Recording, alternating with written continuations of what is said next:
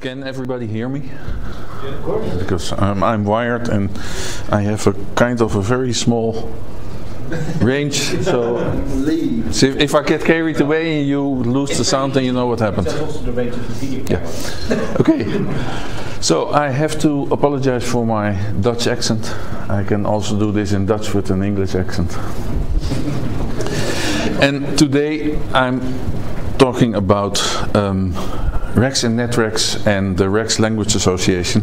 The Rexx Language Association is in existence since uh, 1990 and we have uh, done 28 yearly symposia now. And unfortunately the number of persons attending is dwindling because uh, it's just like um, uh, lots of older technology. Um, it is quietly using it is losing its user base. We all get older, and um, but for the uh, the people who know it, uh, it's always uh, a, a, very nice language to program in. And um, the result is that I'm always preaching to the choir if I'm speaking about Rexx because uh, e either you heard about it and then you're in the Rexx presentation or you didn't hear about it and then you're doing something else elsewhere like Swift and Objective-C and uh, other programming languages. So, um, the official program is um, to tell you a bit about what Rexx is, what its history is, what Rexx LA does, and um, how we turned it into open source for a very large part. The unofficial part is of course the opportunity um, to interact with you and you asking me questions which would be much more interesting uh, I think. Um, I'm one of the persons who was um, an official OS2 systems programmer. It was in my job title at the central bank. I was MVS and OS2 systems programmer. Um, this was during, um, well, that I think the very start of it. I mean, it was the first text-based version that needed to compete to DESQview. Uh, this was before graphics was built in. Um, um, Rexx wasn't, uh, like Roderick just said, in the first version of OS2. It was. It wasn't. It was. It wasn't. Be, and there's an interesting anecdote going with that. Um, there was a meeting uh, somewhere in the United States. Uh, the Rexx book by Mike Cowlishaw uh, lay on the table. Mike was present and Bill Gates himself said, this is what not going to go into OS2. Um, um, and this is the reason that it wasn't actually in the first standard edition because in the Microsoft days there was a standard and an extended edition. Rexx was in um, OS2 EE 1.1. I mean, the first version we could just skip because it was a, a, a graphical program starter, uh, which didn't start programs very well, by the way. Could print to one type of printer, which was an IBM printer uh, in those days. Uh, drivers were always um, one of the less um, realized parts of OS2, and I'm happy to see that companies nowadays are filling in that void uh, after the fact. So it was in uh, the um, 1.3 um, where the split between standard edition and extended edition uh, went away that IBM IBM did a rewrite in assembler for most of OS2 which was an enormously expensive uh, uh, thing that they planned because the first version was in C, didn't run very well. Uh, 1.3 was assembler, uh, written by um, older IBM people. Some of them actually learned PC assembler uh, to do this. And in my opinion, that was the first version that really ran well. and it, it ran so well that you could run it into, um, well, I think it was in the mega, megabytes era still. It ran in 16 megabytes. And and if you fully tricked it out with, uh, let's say, um, communications manager to go to the mainframe and uh, let's say database manager, it would run very well in 64 megs and then um, of course, Windows NT came along and uh, th that stopped nearly every machine in its tracks. I was part of a joint effort between the central bank and a company called uh, Interpay. It's called Equens now, it's a clearinghouse. And we had to build the new generation of a financial workstation. And that would be running OS2. So um, of course we had the usual problems in deciding which GUI to choose. Um, uh, at the at the very end, I mean, we spent the time that deliberating this, and in that time we could have written all major GUIs. Of course, we could have written a presentation manager, a Windows uh, version, an X Windows version. Uh, it was decided we would use Zinc as a cross-platform uh, GUI library and Zinc uh, had its own set of problems. One of them being that the vendors of Zinc didn't really understand anything about DLL initialization. So we had terrible problems with that. That's the problems. Um, we requested the source, we couldn't get it. Then we fixed the problem, and then Zinc requested our fix, and they couldn't get it either. so this was um, it was an interesting time, uh, and um, OS2 wasn't always as rock solid as it is now. And I remember that during the last part of the project we had the daily builds. Those were nightly builds. Uh, we had them beeped over from America and we had hired one of the security guys to install it in the morning before we came in. So we would run on the new version of OS2 which had less bugs than the, the, the older version that was only one day old. Um, unfortunately the project was uh, cancelled at the last moment because like um, most of those projects in those days the hardware was ordered at the start of the project and I think it was um, it was a PS2 model 70 I don't know if anyone remembers those. Uh, with um, not enough memory in it for the final system so um, there was a panic, of course, and I remember, uh, I remember vividly spending a whole week to page tune all the executables because there was a utility and I forgot its name. I did, however, find back the suitcase I had in those days in the storage, and I also brought some of the relics of that time, which is the OS2 Rexx from Bark to Bytebook. I think we, I, I don't know if it's in PDF, otherwise I will have it scanned and will donate it to, uh, to Warpstock. I also have the, have the OS2 2.0 technical library uh, Rexx book.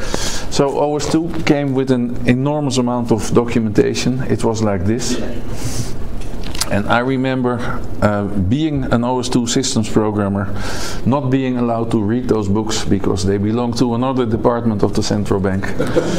so I would have to sneak in at night and um, for a number of days that stack of books just went smaller and smaller because I, all, I, I nicked them all and brought them home and I still have them all it was not really a crime because the people who had that series of books didn't understand about APIs or linkage conventions or uh, DLL imports anyway.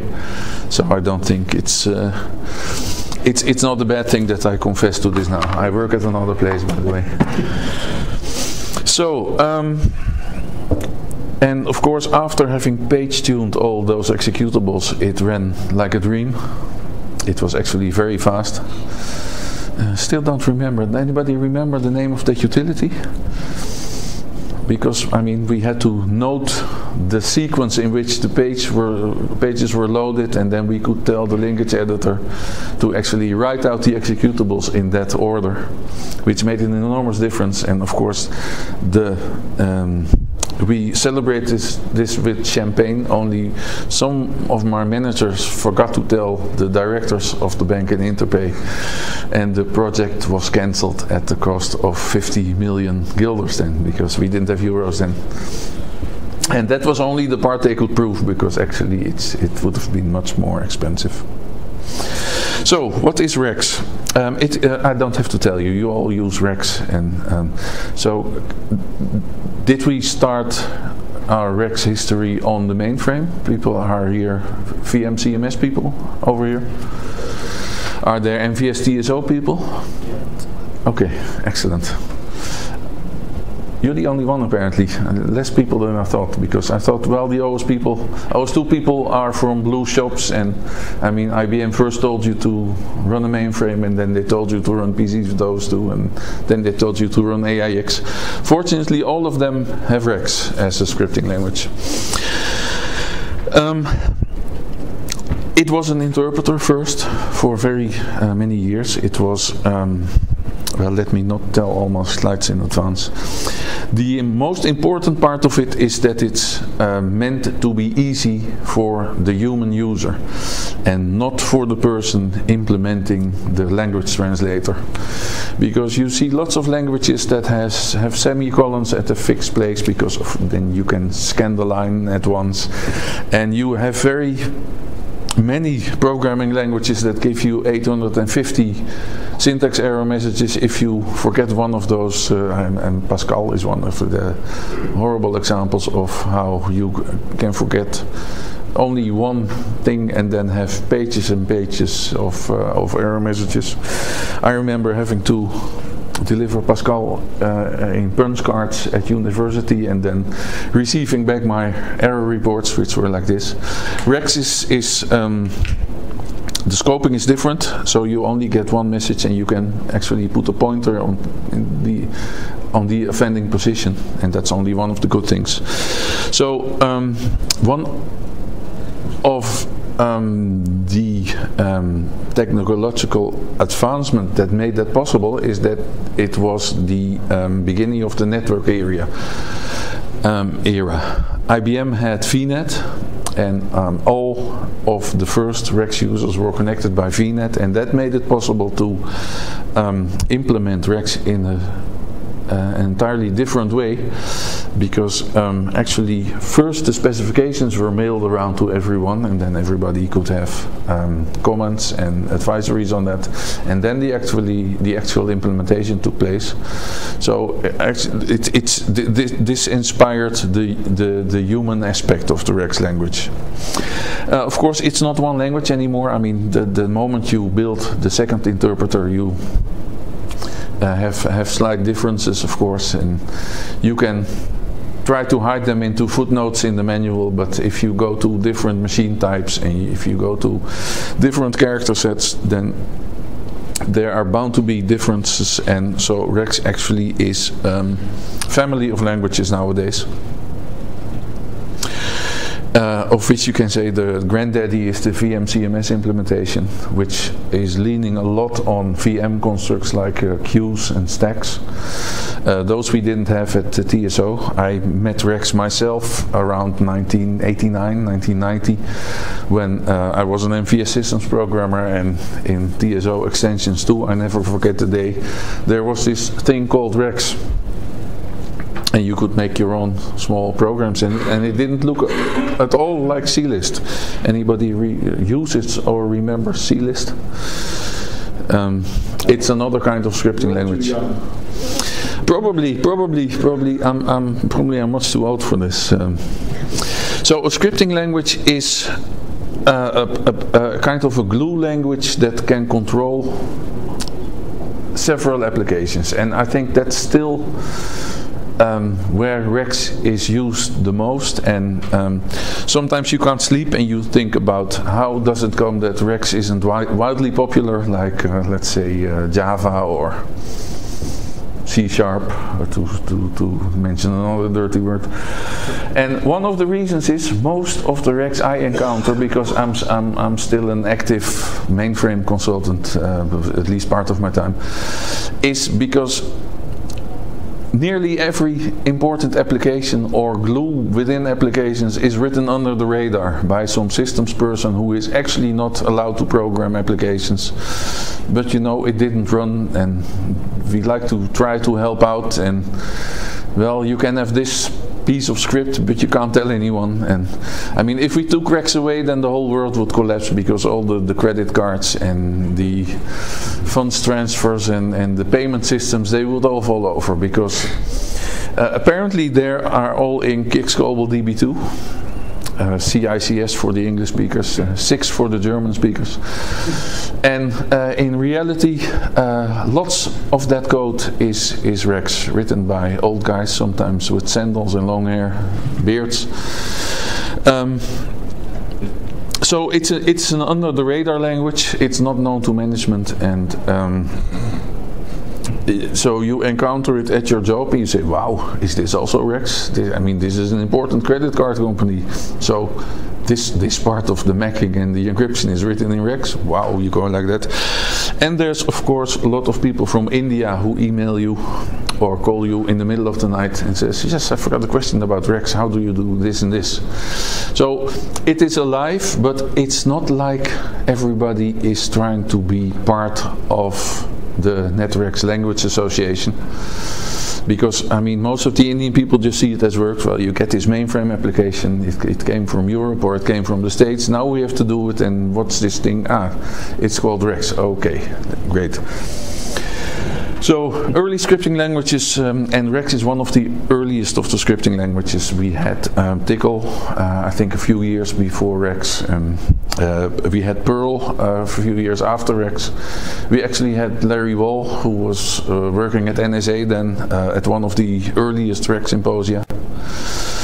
Uh, in very, he was very brave because we still had Rexx symposia of 200, 250 people then. It's now more like 15 or 20. And we, yeah, I would be really, really happy if I had a room like this, like Warpstock uh, for the Rexx LA uh, language conference. Larry Wall, who single-handedly uh, told us that Rexx is a bad language, he was writing a better language, it's called Perl. And we know how that ended. Actually, much more successful than Rexx in numbers of installation and actually in readability of code uh, way worse than Rexx because I, I, I, mean if I have to maintain some piece of Perl somewhere I just see what it does and write a new one because it's really a write-only language uh, in my opinion compared to Rex. So how did it come about? 1979, Mike Cowlishaw, he was working at uh, IBM's Hursley uh, factory, actually in the department that made those nice color terminals that were extremely expensive, had very nice blue colors and reddish and they, they, had clickers under the keyboard so if you I mean this was before the, the system M keyboards that I associate with OS2 we had clickers in the keyboards. And he saw a language which was called exec2 in VM and it existed mostly of ampersands. And he tried to make um, something like PL1 but then simple and as an interpreter and not the compiler. PL1 has a separate history and very uh, lots lots of nice anecdotes, but it's for another time. So actually, Rexx is an attempt to do a very small PL1. Uh, the PL1 one of the PL1 compilers actually came out of Hursley uh, in those days. So I think some of the inspiration was gleaned from its source code, and it was called Rex with one X and then the IBM law department said, well, you can't have it because there's another uh, product, it's called Rex, uh, nobody sells it and it's probably dead, but we can't run the risk. So they spent a million dollars in uh, adding that extra X and the backronym then was invented. A backronym is of course something that is after the fact established as the restructured extended executor Exec2 was its uh, was its daddy, and uh, the thing is. Um, it came out more or less at the same time. I mean, you had one VM release that says, "Oh, we have a scripting language now. It's called Exec2," and then the next decimal release of VM said, "But the scripting language was no good, and we now we now have Rexx." Mike was uh, actually fired uh, first, uh, then rehired and reprimanded, and uh, like large. Um, bureaucratic organizations like IBM and the Soviet Union, you know, the guy, the Russian guy who saved all our lives by not pushing the nuclear button in, he was, he was put in jail and then he got a medal and so Mike was fired first and then he was made an IBM fellow, which is the highest honor you can have as an IBMer, which means you can actually do, do anything you want and actually hire, have a team of people to do what you want and stuff.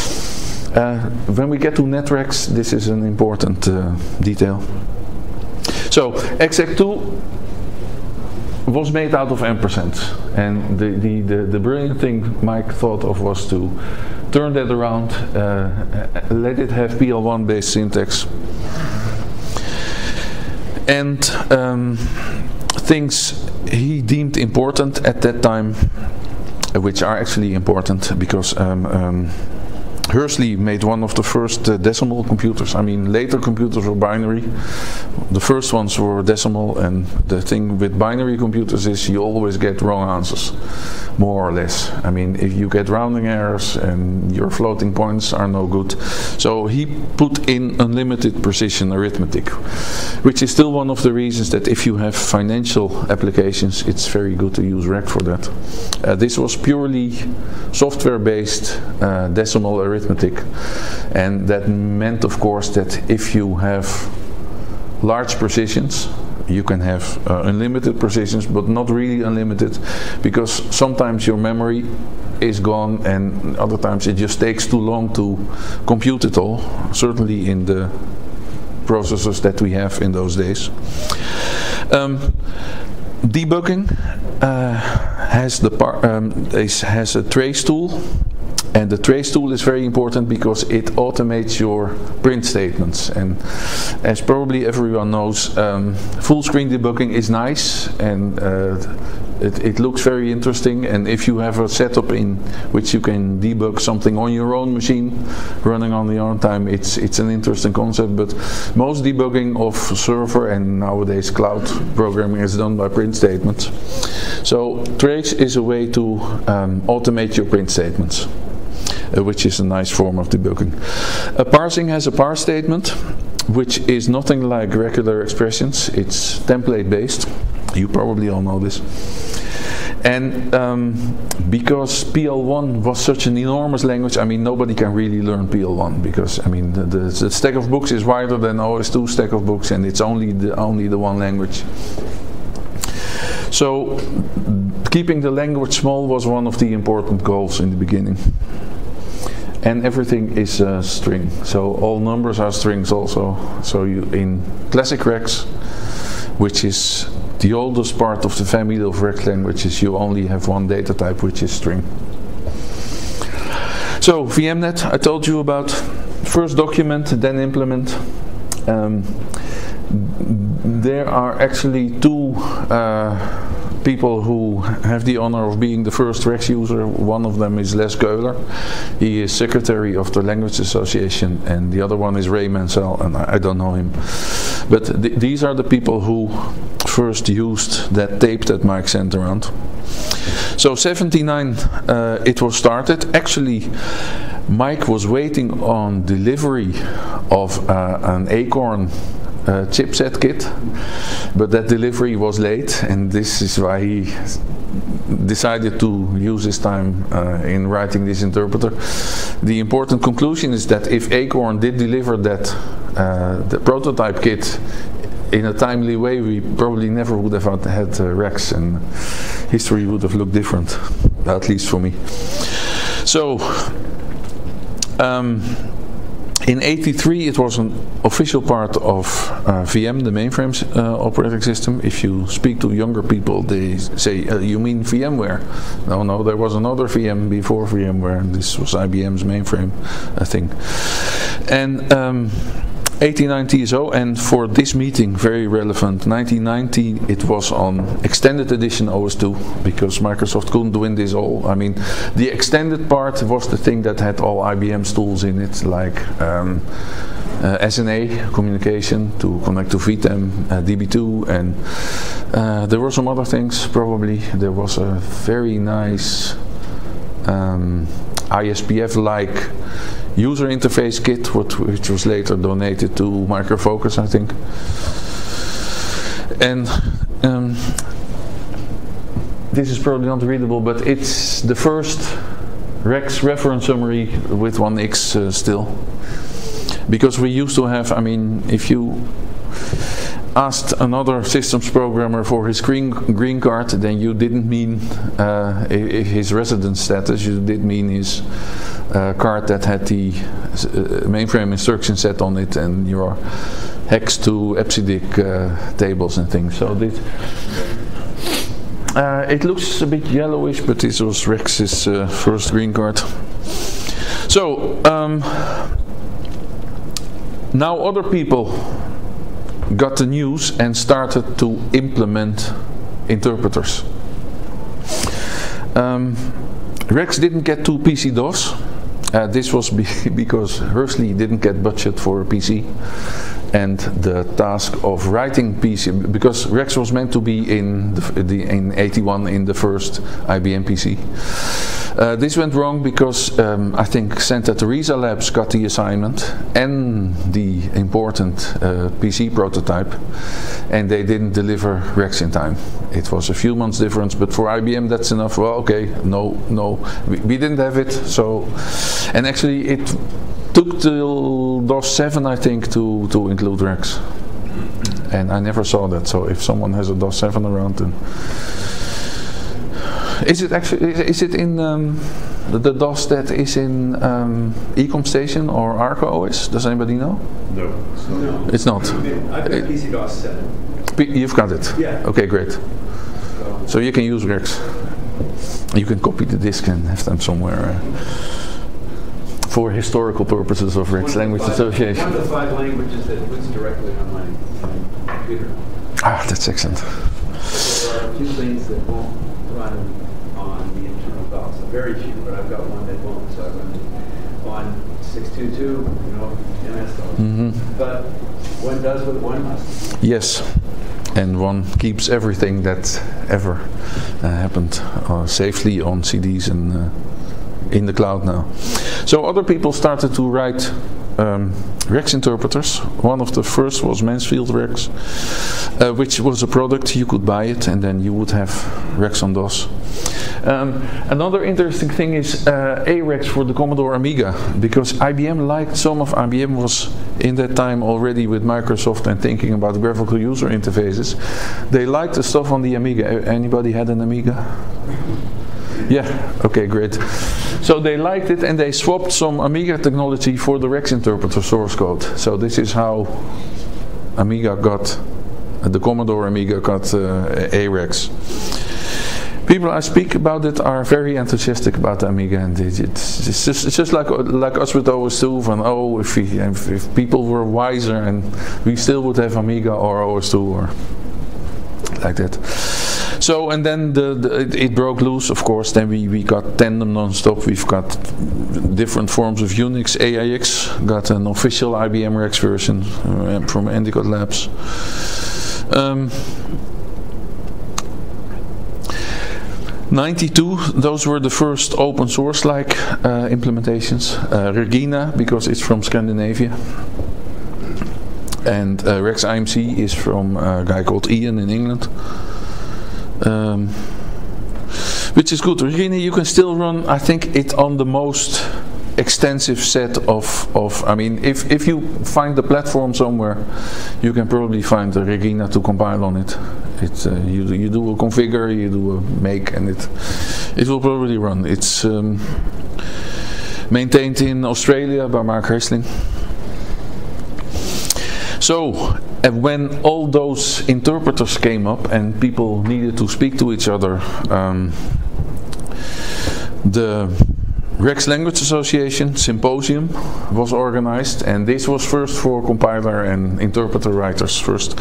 Uh, IBM was working on the compiler then, uh, started out in Haifa in Israel and was completed actually in, well, have to be uh, people from Austria here because if you, if, if, if you tell to the Austrian labs people that it was completed in uh, Vienna, then they all are very mad at you and they say, no, we scrapped the stuff from Israel and we wrote a whole new thing. And so actually the compiler was, the compiler is running on uh, VMCMS and TSO.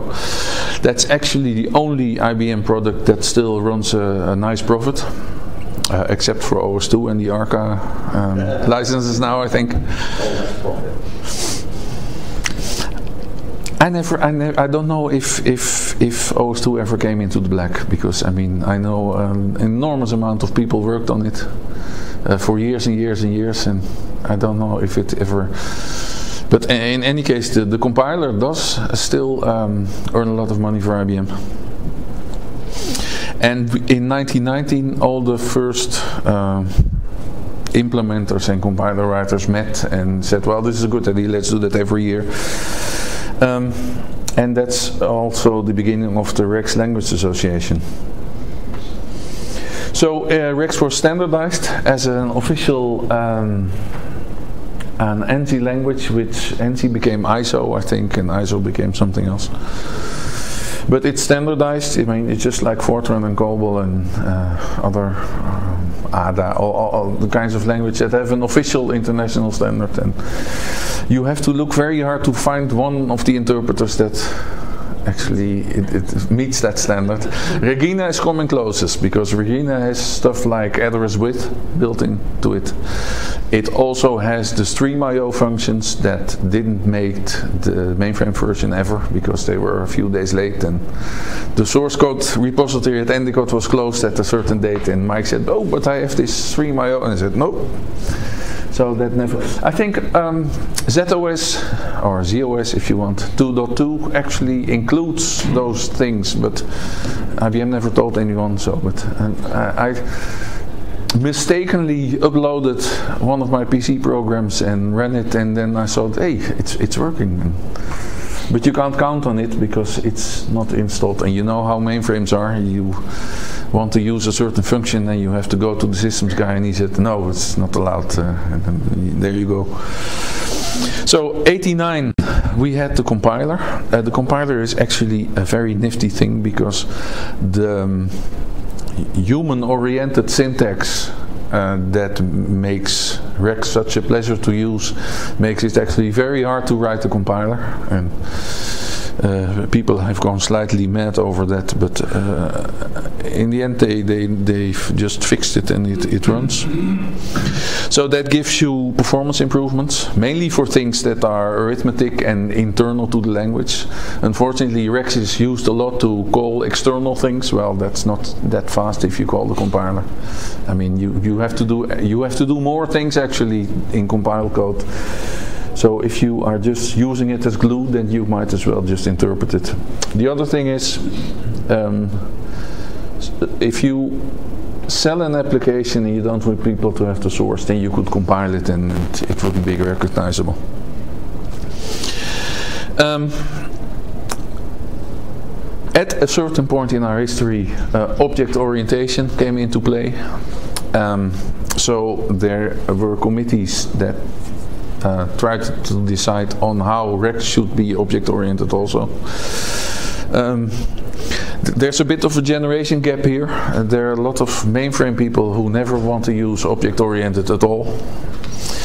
And there are the younger people that don't know what object oriented is because it it was there when they went to school and they well this is how you do it and actually in in Rexx the difference between object Rexx and classic Rexx is not that great. I mean you you call a function and you specify what to do it on and in object Rexx you say what to do it on dot call the function and leave the other thing out. I mean that's the big thing. And that that one simple change uh, led to uh, a whole different way of programming in which you can keep your code and data into uh, well you know about object orientation. And if you don't you probably won't like it ever. So um, the important thing about object Rexx is it's not done by Mike Cowlishaw. And um, I think he kept quiet too long about things he didn't like uh, about it uh, it's got uh, punctuation, things like uh, tildes, twiddles, And it's got things with uh, double columns in it, and those are the things that probably he didn't like from the beginning, but he didn't want to offend Simon Nash, who he was he was down the hall from him. And uh, the important thing is in OS/2 you have both. Uh, I don't know how it's done now, but as I remember, and I'm from pre-warp uh, for my main OS/2 activity, uh, you would get a switch rexx command in which you could say, well, now I've got object rexx also, and it would be entirely compatible with classical rexx, with one big difference, because the classic rexx just parses line by line, just draws in a line, looks at it, and executes it. If you have some syntax error in a part of your program that you don't use, you can't run it under object rexx because that tries to parse your home program and says, well, sorry, line number such and such, which you didn't know you would never hit, has an error in it. That's the difference. Um, it wasn't a big commercial success because um, uh, Rexx was going into. I mean, the, the, if you if you look at Google Trends, at older versions of Google Trends, you see Rexx peak in about 1995. Because everybody was talking about it, everybody was talking about the OO version of it. Uh, there was talk about IBM open sourcing it. There was talk about uh, having Linux versions.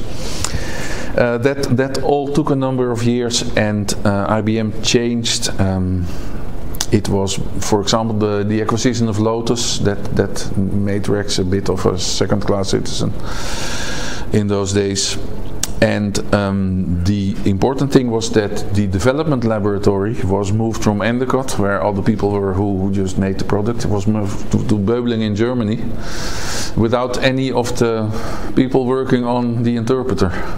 So that was that was that was a really bad move uh, for continuity because I mean the German people are very good. They still are working on other projects but they needed a year a year and a half to just get acquainted to the code base uh, actually calling in people from RexxLA to tell them well we've got this, this thing from Endicott. What is it? So um, then it was decided to uh, put it into OS/2 but sell it for Windows. And there were, I don't know if anybody bought those, there was a CD with only the interpreter and a CD with the development edition which had a kind of uh, uh, precursor of Eclipse. And it had a resource construction kit and you could make uh, presentation manager programs with it and stuff. Never sold very well and it uh, actually died off a bit uh, during those days. Um, 2004, uh, um, I heard that IBM was actually going to discontinue all development on it, and we asked nicely if we could have it, so that we could keep on developing it for uh, other platforms. Now the thing with OS/2 of course is OS/2 was another code base. It's owned by the what's left of the OS/2 team in the, the, the icing department. Um, it's got lots of stuff from other people in it's just the same story as OS/2 uh, the OS/2 Rexx never can be open source because nobody knows which part of it are Microsoft and other companies, which part of it are Amiga. We just don't know. So what we inherited from IBM as Rexx, Language Association is the source code to the Linux, Windows and AIX version. Uh, which we still maintain. We added uh, Mac OS 10 um, actually it was born on this machine uh, version on it. And um, there um, is a Linux for the mainframe version of it now. It was a number of times it was rewritten uh, actually by the retired IBMers who developed it from Endicott, Rick McGuire uh, and, and his team so it was actually maintained by IBMers outside of IBM. Uh, the good thing is you can download the source code, build it yourself on your machine, uh, uh, see how it works, uh, fix some bugs for us, which which would be good, because um, we are not commercial, so it's uh, it's um, it's an activity that has an important negative income actually. So if people would like to help out and correct some documentation. And the documentation is the professional IBM documentation, so we've got a stack of books. I mean, if you would print them, which nobody does anymore nowadays, but they're all PDF, they're very nice. And also the interpreter. ooRexx has had some problems from the beginning. Um, I don't know if any of you used it to do a lot of I.O. during the day and noticed that it got a bit slower then. That was because of um, memory management issues that uh, were in it from the beginning. I think we, we nearly have them all now, but we took our time. Um, now remember I told you about, uh, and tell me how I'm doing for time, because um, I can abruptly end it or we can just go on, uh, I can just talk forever. No, no, we're, getting close to our lunch break, actually. That's good. So, I need two minutes until it's 12 o'clock. The other Rexx that we have now is NetRexx, which is a thing that Mike Cowlishaw did while he was IBM fellow. He said, wouldn't it be great to have Java on IBM's platforms? Because we had articles in the Financial Times that says IBM has five different platforms and enormous cost to develop things and they should focus on one thing. Well, they saw Sun's Java. Um, Mike and a friend of his actually were the first people who ported it within IBM uh, to uh, OS/2. That was the first Java port in IBM. And then he thought, well, what would happen if I would try to, because nobody likes the syntax of Java. Even James Gosling doesn't do it, like it. He told me himself, he said, well, we were a company that sold C++ compilers. I was trying, I mean, he did first the bytecode part because he just had ported six UCSD Pascal things to different internal architectures. So he did the bytecode from Java. He was designing his high level language, which would look a bit like Scheme or Smalltalk. And then his management said, no, no, no, it have to be C++. This, of course, didn't happen once because when uh, people at um, the browser company Netscape were developing JavaScript, it was just, it, it, needed to look like Java. It was also meant to have another syntax, more human oriented and things. So this accident happened twice in our history. So NetRexx is a form of Rexx which is not entirely compatible with classic or object, but close enough. I mean, if you know your string functions and your other things, you would be very, very at ease in programming NetRexx. But it compiles to Java classes. And since the turn of the century, it doesn't only compile, it also interprets because for a lot, a lot of things you don't, I mean, you just want to change it and then run it. And if it's glue or it starts something and gets the output, then you would just interpret it. So it's a translator because it's a compiler and um, an interpreter. So Rexx is a bit uh, over its top, but it's still used widely, widely and wildly probably also. Um, Classic Rexx is still, I mean, there's no real other choice on the mainframe. So if you have to do mainframe, like lots of Indian people, you need to do Rexx, and there's not nobody helps you. Open source, um, well, life has just begun because both of the implementations, uh, NetRexx is open source in 2011. So both of the IBM implementations are now free and open source. You can download them from SourceForge. One is a Git, the other is a Subversion uh, repository, and you can build it yourself. For NetRexx, um, you only need um, and NetRexx, I, I'm not going to repeat the things that are the same, like um, arbitrary numeric precision and things. Uh, it's got trace. You can use the parse statement to do things like like Lisp. You have the same trace. You can uh, the the interesting thing is you can use, for example. Um, all Java libraries to make GUIs like Swing, JavaFX. And if you analyze the things, uh, it turns out you need uh, more or less of 40% of all your typing to do the same thing in NetRexx as you do in Java. So it's organized like an interpreter now, but it can compile to Java classes. And uh, you can use it in a kind of a scripting mode which means you don't have to define classes with methods in it. You can just put the statements under it. The translator will recognize that and translate it into Java that does have classes and methods and uh, all the things that the Java compiler needs to compile it's a very small edition. Uh, it's it's about uh, 45k uh, in addition to your Java installation, and you, then you can run NetRexx programs. Of course, the translator itself is a bit uh, larger.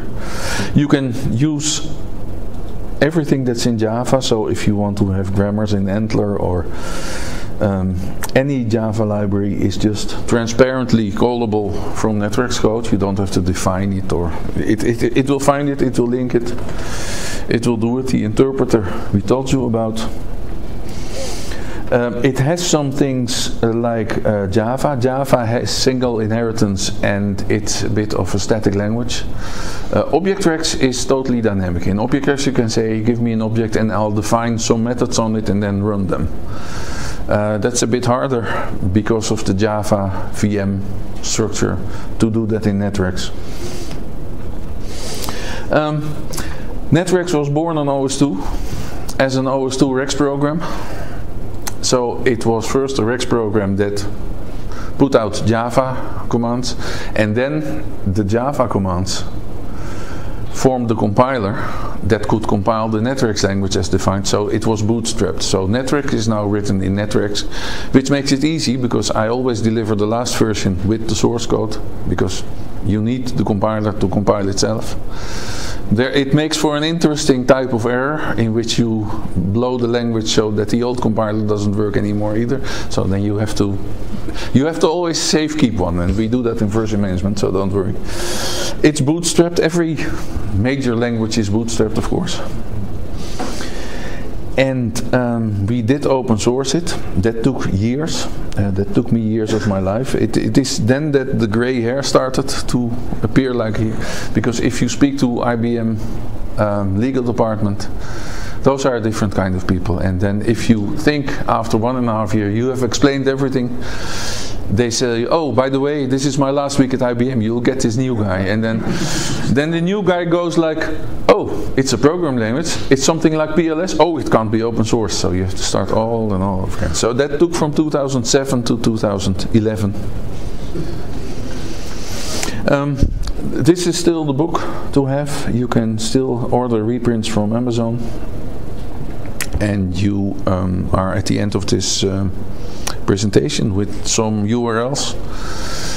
Um, if you're interested, um, I can have it, if if the um, demonstration effect doesn't uh, hinder me, I can do a quick compile on eComStation, uh, which I have to move to the other window, of course.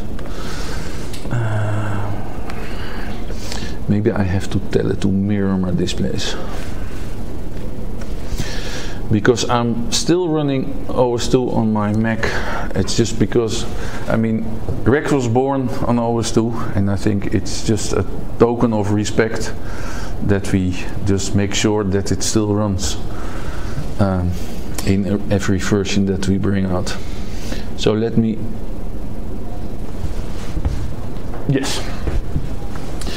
So we just built a new NetRexx and then in I have to capture the mouse pointer of course. Let's say we would like to compile something under OS/2. We have an editor and then we do say hello world stock exclamation mark. Always important not to make too many syntax errors. So we save it, we exit and then we compile it and you say hello and NetRexx compile. Very quickly OS/2 is a very I mean it's it's running on the virtual box now but it's so much faster than everything that you run natively on those machines. So then we could say Java hello and then that's the result of our um, I mean it was a Rexx program I mean, you know that it looked like a Rexx program, but it is a Java, Java class uh, now because it produced the Java source. It called the Java compiler, and it made an executable Java class uh, for you. So I think I'll leave it at that by the time. If there are any quick questions, uh, then probably we can.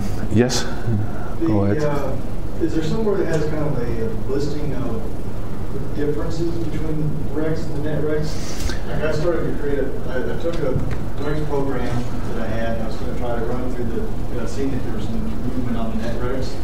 I started to try to, you know, compile it over, and it didn't like the date function, Mhm. for instance. Yeah. Because, well, the question was uh, for the people I think online is is there any good list, good usable list of differences between NetRexx and Rexx? And I would say, well, there's excellent NetRexx documentation. And uh, I think you can see from the differences what the differences are. My advice always is not to try to recompile two large programs but uh, very small programs because for date uh, there is no NetRexx implementation because it was decided that Java did enough with dates so you should use um, Java's date. Now there is, and that's the good news, there is a compatibility package now which has the date versions like, like uh, Rexx uh, uses them. They will be part of some future release of the NetRexx compiler. So um, to answer your question, well, we're very sorry, and no, there is not a complete list, but we do try to fix non-obvious defects like this. Okay, well, thank you very much. And other, and other questions we'll just do uh, during the break.